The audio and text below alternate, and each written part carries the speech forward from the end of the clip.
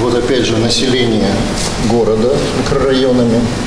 И мы помещаем сюда свой детских дошкольных учреждений. И карта отображает загруженность социальных объектов по всей Перми. Цифровая модель региона – уникальная разработка пермской компании Бюро информационных технологий. При помощи системы можно спрогнозировать нагрузку на инфраструктуру при размещении в черте города того или иного жилого комплекса. Эта пермская разработка не имеет аналогов не только в России, но и в мире.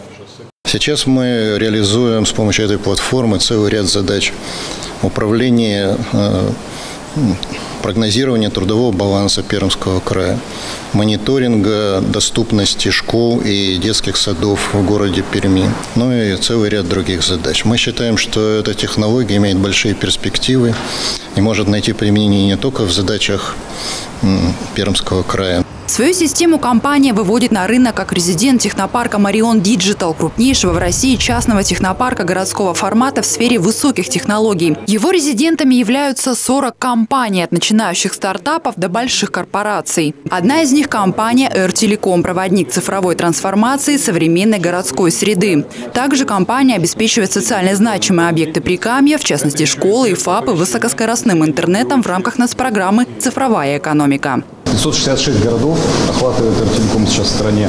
И в 52 городах из этого количества мы построили еще дополнительно сеть интернета вещей, которая является самой крупной сетью интернета вещей в России на сегодняшний день.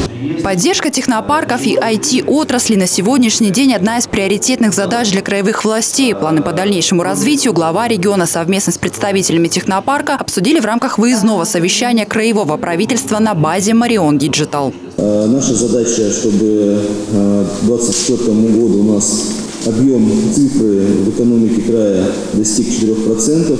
Технопарки являются таким знаковым местом для привлечения внимания федеральных властей. Да и, собственно говоря, это уже целая такая городская среда для молодых специалистов, чтобы э, Пермский край был точкой притяжения для молодых амбициозных э, людей. Сейчас власти оказывают всю необходимую поддержку для дальнейшего роста потенциала IT-отрасли. От э, коронавируса пострадали а, практически весь бизнес, как крупный, так и средний, так и малый бизнес в первую очередь. Однако третий пакет мер поддержки, принятый а, правительством Российской Федерации, а также правительством Пермского края, позволил уверенно а, сохранить темпы роста показателей технопарков. Речь идет о снижении по налогу на имущество и на прибыль, а это значит, что в ближайшем будущем можно ожидать роста количества резидентов прикамских технопарков. Екатерина Рухтина, Александр Наприенков, телекомпания «Ветта».